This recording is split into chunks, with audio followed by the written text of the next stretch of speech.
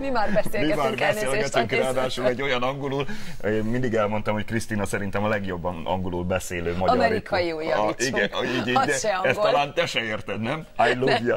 Jó reggelt kívánok! Fantasztikus. Ausztráliában élő vendégeinknek. Így, így. Eh, Hegedűs Péter író, rendező, producer és eh, Vladuc Zoltán operatőr, producer. Egy... Azt mondtad, producer. Producer, producer. Nem tudom, hogy Az kell. Ah, igen, én is ott jártam egyetemre, jó, akár csak Krisztina. Jó reggelt kívánok! Jó reggelt. Jó reggelt. Akkora a távolság Ausztrália és Magyarország között, és mégis valamiféle cél az, hogy a két ország közelbe kerüljön egymással. Te ráadásul egy családi drámán keresztül. Így. Igen. Miről szól a film, mit kell róla tudni? Egy, Egy- magyar filmről van szó, ráadásul Igen. nem ausztrál-magyar koprodukció. Igen, egy magyar film, amit Gárdonyi Lili története. Ö, Lilit öt, éve ismertem meg, ő a Brisbane-i Magyar Rádió ö, műsorvezetője volt, szerkesztője volt, és az utolsó rádiós napját lefilmeztem. És Mennyi a- idős Gárdonyi Lili? 83 éves. És, És, ö, 56-ban távozott Magyarországról. Igen, igen. 33 évig vezette a rádiót önkéntesként, Ott Brisbane-ben. ott Brisbane-ben, és, ö, és megismertem a, az, az életét, és egy, egy olyan érdekes élettörténete van, hogy azt gondoltam, hogy ebből egy filmet kell készíteni. Egy, csak egy filmkockát vetíts föl ebből, vagy villancs föl ebből. Miért érdekes az ő élete? Talán a, a leg, a leg ö, megrázóbb történet, hogy 56-ban, amikor elhagyta Magyarországot, akkor a két éves kislányát Budapesten kellett hagynia, vagy elmenekült. És Meddig? Volt voltak külön? 20 valahány évig ö, nem találkoztak. És akkor gondoltam, hogy ebből egy filmet kellene készíteni, és megkerestem Pétert, hogy, hogy dolgozzunk együtt. Péter, mi az, amit megláttál ebben, amire azt mondtad, hogy ezt meg kell csinálni, és miért? Mindenképpen ez a történet, amit az Zoli most elmesélt, az, az nagyon-nagyon meghatározta a döntésünket, hogy ebből egy egész estés dokumentumfilmet készítsünk. De ami, ami engem még nagyon-nagyon megfogott, az, az, az a történet volt, amikor elmesélte, hogy ő 9 évesen, 40, 44. októberében ő, ő szemtanúja volt egy, egy vérengzésnek a Kiskunhalsi pályaudvaron, amikor pontosabban 200 ö, fiatal munkaszolgálatos zsidó fiút mészároltak le a, a német katonák és a magyar katonák, és, és azt ő látta, ott volt.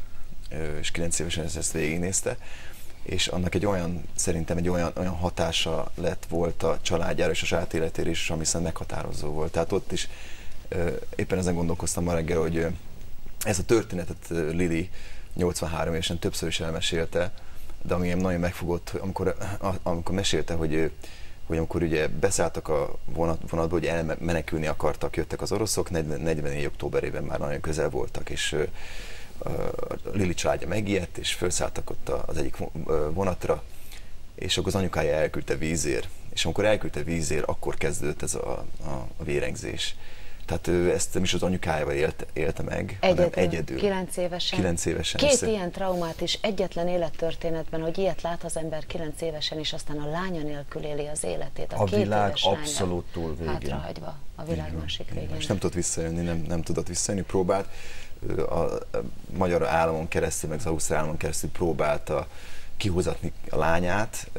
Ennyi éven keresztül ezt nem sikerült. Nem sikerült neki, igen, nem sikerült. Úgyhogy. Mennyire, mennyit tudunk mi, miben tud ez nekünk segíteni magyaroknak, hogy egy picit lássuk Ausztráliát? Az ausztráloknak miben tud segíteni, hogy egy picit jobban megismerjenek minket? Hiszen tudjuk, hogy ö, sok honfitársunk él ott, sok magyar ember él Ausztráliában, de hogyha én is az emlékeimet kutatom, akkor nagy valószínűséggel a Melbourne olimpia jut eszembe, illetve Igen. a legendás szovjet-magyar vízilabda mérkőzés, az is egy történelmi háttér, a kint ragadt olimpikonok, akik nem akarnak hazajönni és telefonon vagy valahogy hallgatják a híreket, hogy a távoli kis hazában elro- eltiporták éppen a forradalmunkat, tehát Igen. hogy nagyon súlyos témáink vannak. Igen, nagyon sős témák, és, és számomra ez már nem is 56-ról szól, hanem itt ar- arról van szó, hogy, hogy egy család szétszakadt, már, már 44-ben szétszakadt, ott a, ott, ott a pályadoron szétszakadt, 56-ban szétszakadt, és a film igazából erről szól, tehát Ausztráliában is vannak családi problémák, ott is szakadnak szét családok, beszéltünk korábban a, a, a aboriginálokról, hát ott is olyan, olyan szörnyű dolgok történtek, hogy Ugye ők az ausztrál őslakosok, akiktől rendszeresen vagy bocsánatot kérnek az ausztrál politikusok, vagy nem, hiszen az életterükben nagyon sokan haltak meg ott Így van. Morri környékén, ha jól Így tudom. van, így van, ez, ez így van is. 60-as, 50-es és 60-as évek ö, környékén, ott rendesen vitték is a gyerekeket tőlük, a aborigináloktól, és ugye az is egy családi szétszakadás, olyan traumát okoznak, okoztak a Olyan, szülőknek. mint a kanadai bánásmód, igen, ez a kettő nagyon párhuzamos, Az is őrületes tragédia. Mit tudnak- Picit bocsánat. visszatérve, bocsánat, a- igen? igen. E, tehát erről szól a film számomra. Tehát, hogy A, a produkcióra szerettem volna rákérdezni, azzal kezdtem, hogy ez nem egy ausztrál-magyar film, hanem egy magyar film.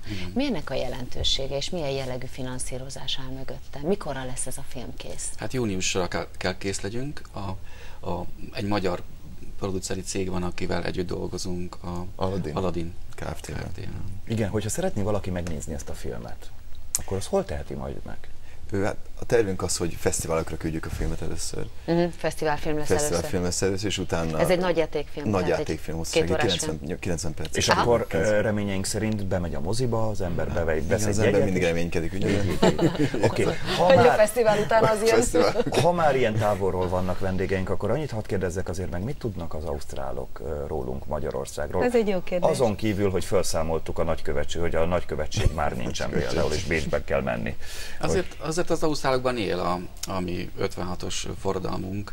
Ugye ők emlékeznek a Melbourne olimpiára, amit említettél, az a szovjetek ellen vívott pólómeccse. Amikor Zádor Ervint megütötték Igen, az igen. elődöntőben, és vérző fejjel kirángatták az öltözőből, és azt mondták, hogy mutasd meg a véres fejedet, hogy lássák. És az a fénykép, képzeld el, az a fénykép a világ összes országában megjelent, kivéve Magyarországon, mert itt nem engedték, viszont az 56-os forradalomnak a jelképe. Zádor Igen. Ervin később szintén nem ment haza Magyarországra, hanem Amerikában. Amerikában, Amerikában lőteret üzemeltetett, igen.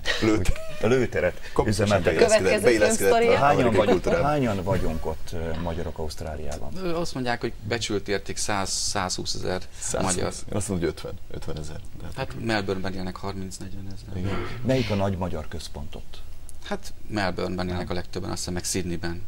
Még egy utolsó kérdéssel visszatérve műsor végén Gárdonyi Lilire. Am, am, említettem, hogy olyan súlyú tragédiák érték, amit alatt én lehet, hogy összetörtem volna. Igen, Nem tudom, hogy milyen mentális stabilitás, vagy mi kell ahhoz, hogy az ember ezeket kibírja. Ö, milyen ember ő most? Fantasztikus. És mit mond? Hogy néz vissza az életére? Fantasztikus ember, amikor a reptéren voltunk, felhívott és mondta sírva, hogy lélekben itt van velünk, fizikálisan ő Ausztráliában él, de ő mindig magyarnak érzi magát. Jár és vissza? Két évvel ezelőtt hazajöttünk vele, amikor a 56-60. évfordulója volt, és lefilmeztük, ahogy találkozott az, az itt hagyott családtagokkal. Jön majd a bemutatóra? Reméljük. Reméljük. Nagy távolság miatt egyébként jellemző, hogy az akkor elha- Magyarországot elhagyott, vagy később elhagyott honfitársaink járnak haza, hiszen ez nem Járnak Bécs, gyakran. nem Ausztria, nem München, nem London, nem napi járat. Mm. Járnak gyakran szerintem az a, a na- nagyon, tehát az, az a honvágy ugye annyira vezérel ezeket az embereket, és szerintem egy-két év alatt össze lehet szedni ugye a, a jegy árát, és ez szerintem nagyon-nagyon Fontos fontos. csak egy utolsó gyors kérdés. Van egy normális halászlé és újházi tyúkos leves abban az országban? Minden városban lehet kapni. Minden városban lehet. Megnyugodtan? Megnyugodtan. Akkor befejezhetjük az adást. Befejezhetjük az adást. Nagyon hogy Hogy mondják Sok ausztrálul, hogy, hogy jó napot? Gudai? Gürej. Nem, Gürej. nem, gürej, gürej, gürej, azért nem kell tolni, nem kell tolni azt az.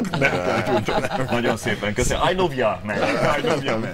Köszönjük szépen, hogy itt voltak. Sok sikert a filmhez, akkor ezek szerint nyáron már látható lesz, és reméljük, hogy minél több moziban megnézhetik a kedves nézők. Ez volt a mi nőnapi adásunk, egyébként egy gyönyörű szép történettel, ugye Lili történetével, már mint a film az gyönyörű, egy tragikus, mégis történelmi történettel befejezve. Legyen gyönyörű a napjuk. És van még egy hétköznapunk holnap reggel. Így van, Várjuk oly- Önöket olyan szeretettel. gyönyörű legyen a mai nőnapjuk, mint amilyen gyönyörű Bombera Krisztina. Tudtam, hogy így fogod befejezni. Na ugye milyen udvarias voltam. Viszontlátásra szép napot. Viszontlátásra.